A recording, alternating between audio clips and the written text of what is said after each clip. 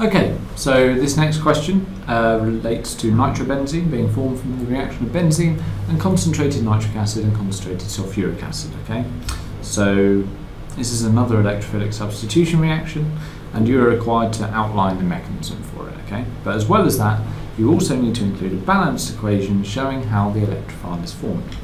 So, for a nitration reaction, the electrophile is the NO2 plus group. Okay, so how do we form this NO2 plus? Well, what you need to do is you need to consider the two uh, other reactants, the nitric acid and the concentrated sulfuric acid. Okay, so HNO3 plus H2SO4. Now, the sulfuric acid is a stronger acid than the nitric acid. So what's going to happen here is it's going to donate one of its protons to the nitric acid.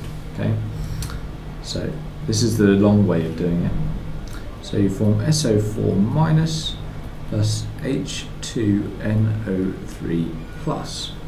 Okay, and then from there you get a breakdown of this H2NO3 plus complex and you uh, end up with HO4 minus plus NO2 plus plus H2O. And look at that, you've formed your electrophile, your NO2 plus. You can also represent this uh, as HNO3 plus 2H2SO4 goes to uh, H3O plus plus 2HSO4 minus plus NO2 plus. So either one of these is correct, they're just different ways of representing the same kind of thing. So if you get those uh, one of those equations, you get one mark. Okay. So now I haven't left myself much room to draw a mechanism, but we'll try. We'll try our best. Okay. So from here you have benzene, and you have it's a really badly drawn benzene ring, but we'll go with it. Um, we also have NO2 plus. So the NO2 plus is electron deficient and positively charged, and the benzene ring uh, may be neutral, but it's got a region of high electron density in its delocalized ring. So the delocalized electron ring, the electrons here, a pair of electrons here, will attack the uh, nitro group, the uh, NO2 plus ion, and you'll form an intermediate. So this intermediate has this structure again. Remember we draw this above the halfway line to, to these two carbon atoms here and here. This is now positive because the electron, the, the delocalized ring has been broken. And you've now not only got hydrogen up here, you've also got that NO2 that you've just added.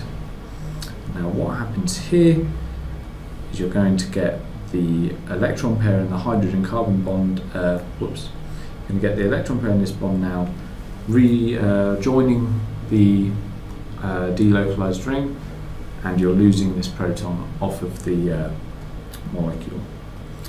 So you're now going from there to form nitrobenzene NO2 and you've also got the H plus ion as well. Just for completion we put that in. So marks you get one mark for this bit here, the generation of the catalyst. You get one mark for this curly arrow here. You get one mark for this curly arrow here, one mark for the correct intermediate structure,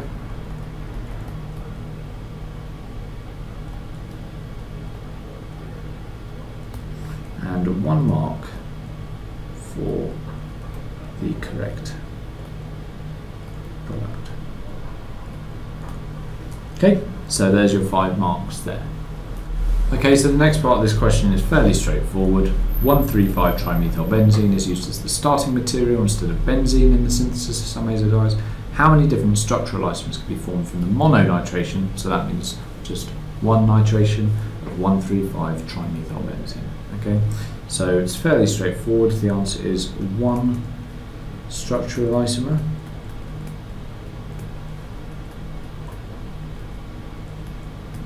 and that's because all three of these carbon atoms where the nitration could take place are equivalent to one another. And it's as simple as that. That's all you need to say.